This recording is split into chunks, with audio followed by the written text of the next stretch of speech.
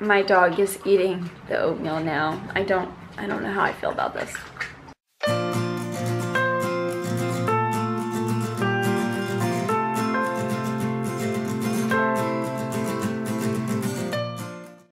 Hey guys, Maggie here. Um, today we are going to do a video that I'm surprised I never did, but I was thinking about it as I was helping a patient and their caregiver um, while I was at work empty their bag for the first time and I realized how difficult it can be to close up some of these bags and also keep them clean. So in this video, I'm going to show more of a mobile way, I guess like a, if you're out and about on the town or whatever, just more of a simple way with baby wipes to empty and clean and close up the pouch. So I'm going to show a Velcro closure and a clip closure drainable pouch.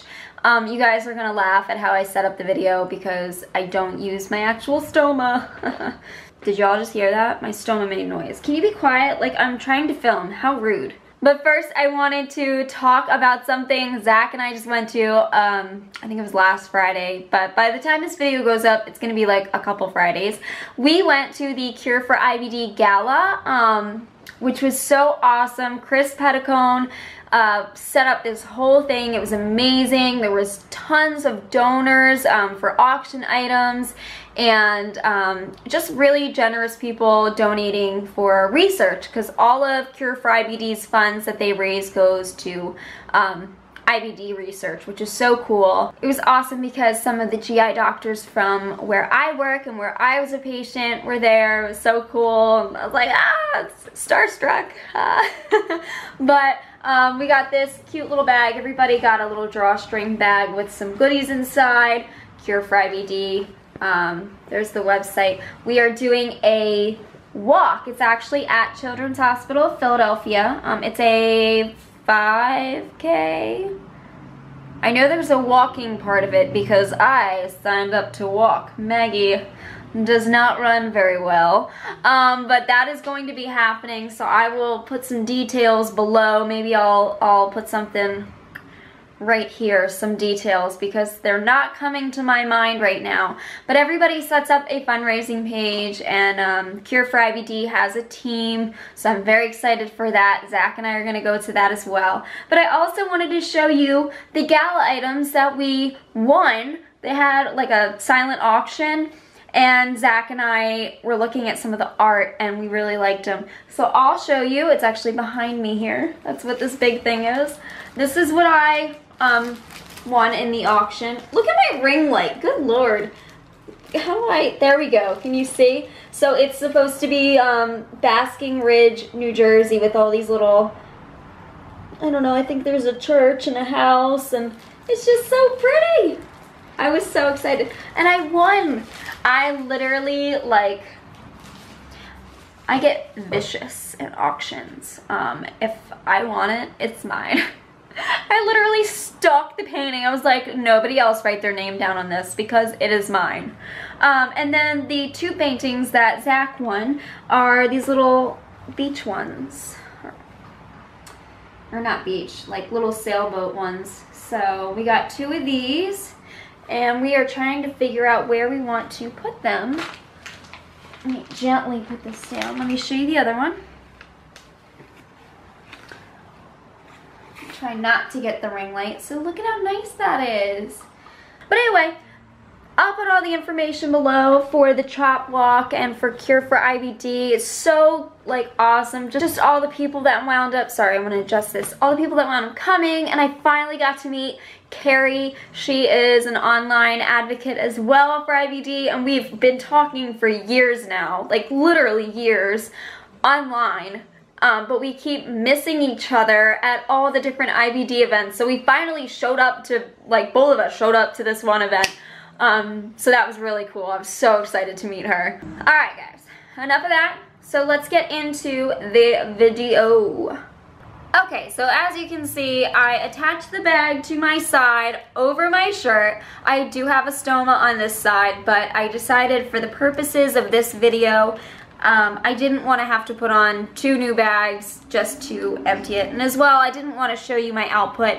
Um, I like to not gross out my viewers because, I don't know, I don't think showing my output would help anybody.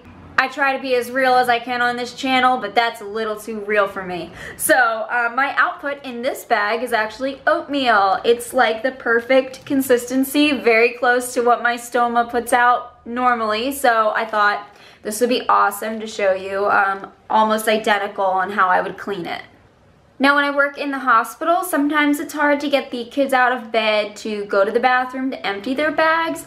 So what I wind up doing is taking a bowl or a urinal or something like this. Obviously not a nice ceramic bowl. We don't have those available at the hospital, but take a bowl, and I use baby wipes. Um, that's the most simple way when you can't get the kid out of bed moving.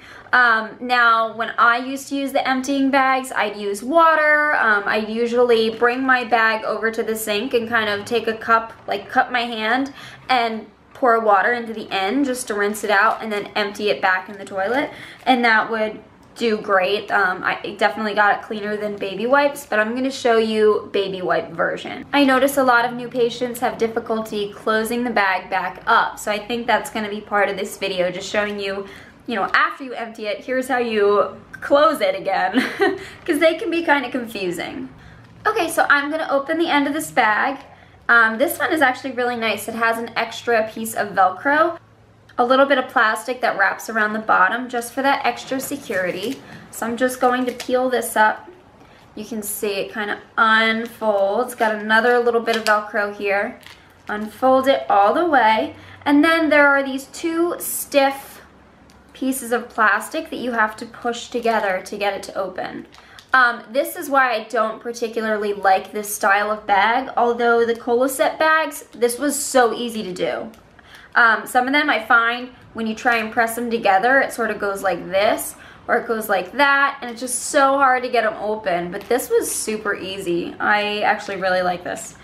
Um, so then you can squeeze your output. If it's more liquidy it'll come out a lot easier but this this might be a little difficult let's see I will do my best sometimes you can't get all of the output out that's totally fine you just want to make sure that you're getting a majority of it out because you don't want to have to immediately go back to the bathroom to re-empty. So let me say, ah, there we go. Some people prefer to wear gloves, some people don't. Um, obviously, I would wear gloves as a nurse. Um, but when it was just me and you're in your home, you have a sink and water, like, obviously I'm not going to wear gloves every single time. So the output is out. I'm going to set this aside. It's kind of grossing me out even though it's not real. Um, I'm going to take one baby wipe and I've opened up the bottom here and I'm just going to stick it in there and I like to clean around the edges. You get it as clean as you can. Um, this is not a science. You can't get it perfect every time.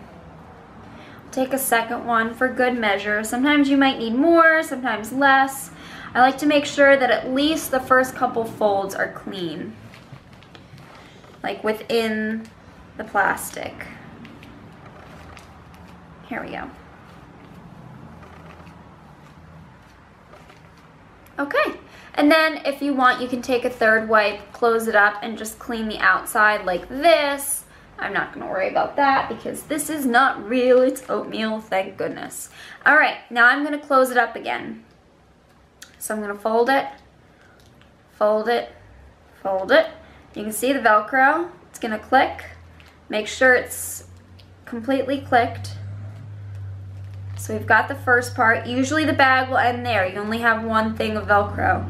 But this one, like I said, it has the extra security of a piece of plastic going around the bottom and then Velcro on the back. And sometimes what you'll even see is a piece of Velcro somewhere like up here um, and then another piece on the end of that bag and it'll fold up so your bag will not be nearly as long as it was. But this does not have that. It's just like this. And then we're, we're good to go. Our ostomy is flat. Um, good to go. Okay, here is the other type of bag I'm going to show you. This one is a Convatec bag, I'm pretty sure, and it has a clip closure.